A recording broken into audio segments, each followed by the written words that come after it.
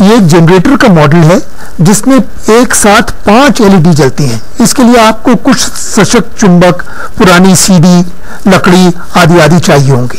सबसे पहले एक लकड़ी का पटरा लें, वर्गाकार, और उसके पेंदे के ऊपर एक पुरानी सीडी को चिपकाएँ। बीचों बीच एक स्क्रू होगा। उसके बाद में एक दूसरी पुरानी सीडी लें, और उसमें चार जगह लंबवत गोंद लगा करके चार बहुत ही पावरफुल चुंबक चिपकाएँ। ये चकती चुंबक है।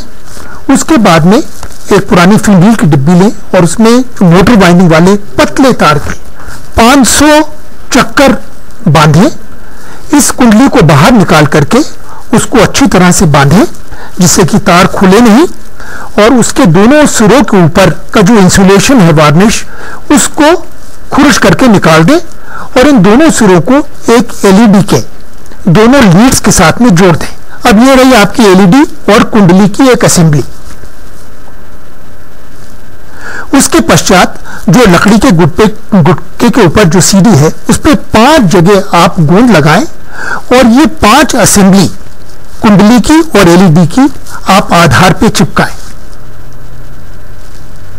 यही वो कुंडलियाँ हैं जिनमें करंट बनेगा और जिनसे ये एलईडी जलेंगे। उसके बाद में बीचों बीच गोंद लगाएँ और सिलाई मशीन की एक बॉबिन चिपका दें।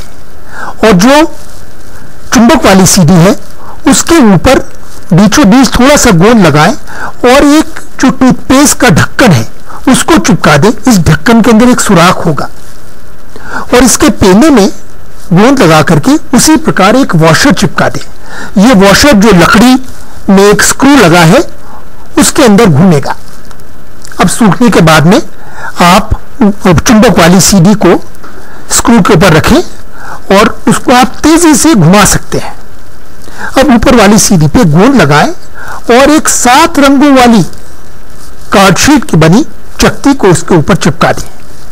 अब आप अगर बार सूखने के बाद जब आप सीढ़ी को घुमाएँगे तो सातों रंग आपस में मिलकर के आपको एक सफ़ेद रंग जैसा दिखाई देगा।